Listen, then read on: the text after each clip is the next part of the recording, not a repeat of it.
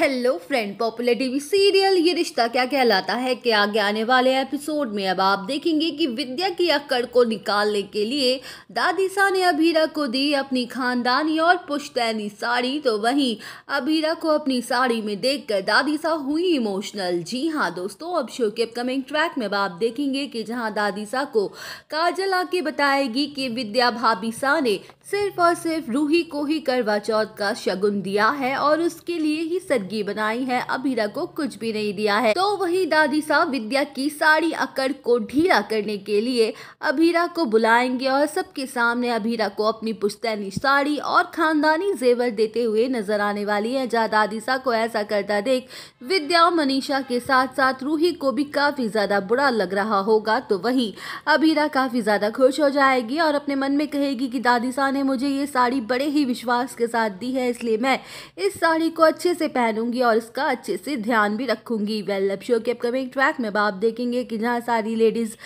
तैयार होने के लिए चली जाएँगी तो वहीं अबीरा भी साड़ी को रख के नहाने के लिए चली जाएगी, जहाँ रूही पीछे से अबीरा के कमरे में घुसाएगी और साड़ी को अपने हाथ में लेकर खुद से ही कहते हुए नज़र आने वाली है सॉरी दादी सा, ये करना ज़रूरी है, क्योंकि तभी आपको एहसास होगा कि अबीरा किसी चीज़ के लायक नहीं है और ना ही वो किसी भी ज़िम्मेदारी को उठाने लायक है, जहाँ रूही साड़ी को कैची से काट देगी और तुरंत ही कमरे से निकल जाएगी। वेल लव शो के अपकमिंग ट्रैक में आप देखेंगे कि जहाँ अबीरा जैसे ही नहा धो के बाहर निकलेगी और साड़ी पहनने ही वाली होगी कि तभी वो देखेगी कि साड़ी तो कटी फटी हुई है। तो वहीं अभीरा शॉक्ड हो जाएगी और सोचेगी कि ये साड़ी पहले तो ठीक थी, फिर अचानक से ये कैसे कटी फटी हो गई। जहाँ अबीरा घबरा जाएगी और रोने लगेगी कि ये क्या ये क्या हो गया, मैंने क्या कर दिया, मुझसे दादी सा की साड़ी कैसे ख़राब हो गई, अब दादी सा के सामने मैं क्या मुँह लेकर जाऊँगी, वो क्या सोचेंगी कि मैं एक साड़ी तक ठीक से नहीं संभाल पाई। तो वहीं अभीरा के जुगाड़ू दिमाग में ज़बरदस्त आइडिया आएगा, वो साड़ी को बड़े ही प्यार से